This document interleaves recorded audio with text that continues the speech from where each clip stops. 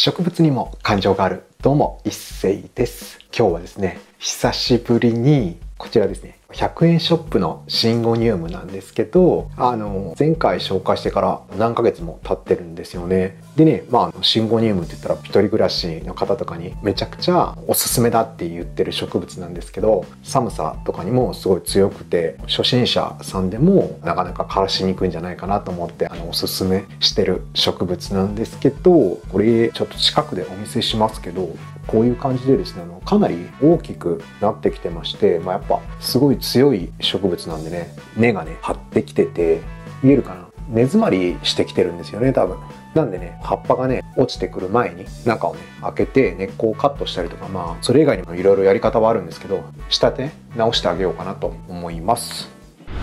一斉の動画。あちなみにねこっち。これもねあの色違いでね。こっちはね葉っぱにちょっとあの薄いね分かりにくいかもしれないですけどピンク色がね入った子なんですけどこっちの子はねあんまり成長してなくてっていうのもね購入してきた時にもう本当に死にかけてるようなすごい弱った状態で100円ショップでもうちょっとしたらもう処分されるんじゃないかなっていう子がいてちょっとかわいそうだったんで僕が引き取ってきたというか 購入してきた子なんですよね。なんでねちょっと成長もやっぱり遅くてなんかあんまりこう成長してくんないんですけどただね全然死んでないしまああの時間経てば大きくなってくると思うんでこのまま育てていこうかなと思ってますね。根がね全然やっぱほとんど出てきてないというかこここだけちょっと太いやつが1本出てきてるんですけどこの辺に。たださっきのねあのすごい大きくなってる子と比べたらこっちの子は全然ちょっと成長はまだ緩やかというかゆっくり成長してってる感じですね。ということでですねこっちの大きい子をね今から根っこをね見ていってあげようと思います。はい。じゃあねこの子なんですけど、まあ、もう一回ねちゃんとお見せしとこうかな。あんまりこれだとね分かんないかもしれないですけどね。結構ね根詰まりしてるんですよ。これこれこれこれそうなんですよ。もうめっちゃ根っこ根詰まりしててほとんど葉っぱ出てこなくなってるんで。これずっと放置するとね下の葉っぱからどんどん落ちてきちゃうんですよね。なんでねちょっと今このねボールの中にこのハイドルボールをちょっと開けて中をね見ていこうと思います。一斉の動画。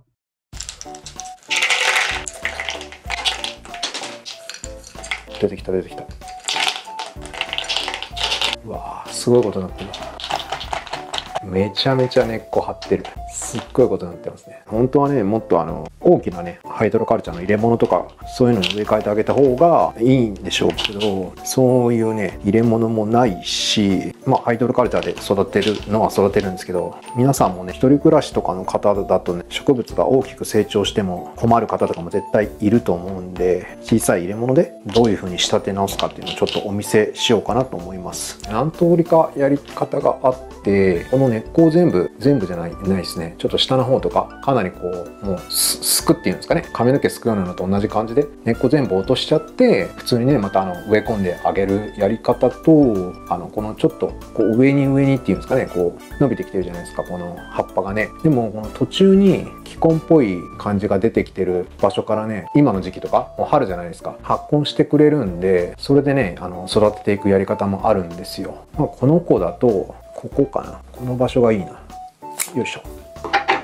こういう感じでカットしてあげるんですよ。そしたらここ分かりますかね？気根あここもありますね。この辺にも気根があるんで全然ねこの気根の場所からまた根っこが全然発根して出てきてくれるんでこれでねあのまた植え込んであげようかなと思います、ちょっと器は洗ってきますけどこういう感じでねまた植え込んであげようかなと。でこっちの子はねまたあの根をねちょっと落としてあでもどうしようかな。こっちの子こっちの子をね水差しにすることにします。この発根してない子ね。さっきあの僕はこれを植え込むって言ってた子なんですけどこの子を水差しにしてこっちの子をねもうちょっとすきますけどこの辺とかも落としちゃってうん、こんな感じかな。だいぶすきましたけどすいちゃってでね根っこをね落とします。このね大丈夫なんで切っちゃってもうバッサリに切ってほとんど落としてもいいか。なこんな感じでこれでまた植え込んであげる感じですね。でちょっとこれ洗ってきます。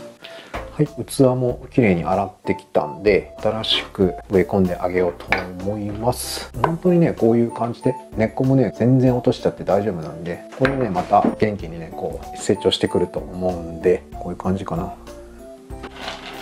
入れて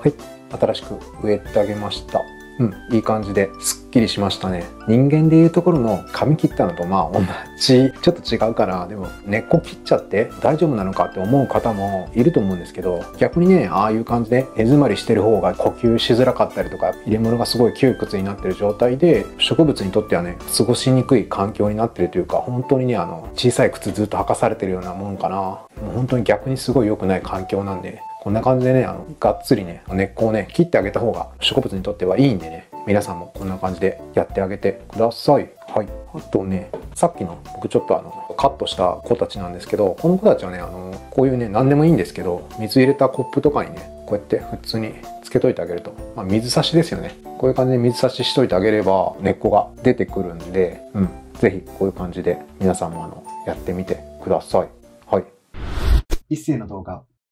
はい、そんな感じでね、今日は100円ショップ出身のシンゴニウムちゃんをですね、久しぶりに紹介したと同時に、仕立て直しですね、根っこカットして綺麗に仕立て直してあげました。すごいね、すっきりして、この子もね、環境的には過ごしやすくなったんじゃないかなと思います。でね、こっちはカットして気根がついてる部分ですね。それはね、水差しで根っこが出てくるまでは様子見してあげようかなと思います。そんな感じですね。僕ですね、こんな感じで普段から植物関係の動画をたくさんアップしてるんで、もしよかったらチャンネル登録の方よろしくお願いします。それではご視聴ありがとうございました。バイバーイ。